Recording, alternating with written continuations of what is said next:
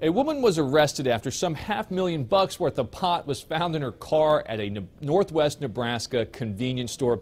Chadron Police Chief Tom Lardino says two officers were sent to the store Wednesday to check on a driver asleep in the car next to one of the gas pumps. The chief says one of the officers spotted what he believed was a meth pipe, and after getting the woman's permission to search, they discovered meth. The chief says the officers stopped looking for drugs until they got a warrant. Ultimately, they found nearly 70 pounds of pot and nearly $6,800 after the warrant was granted. Matt Yurus for CBS 11 News.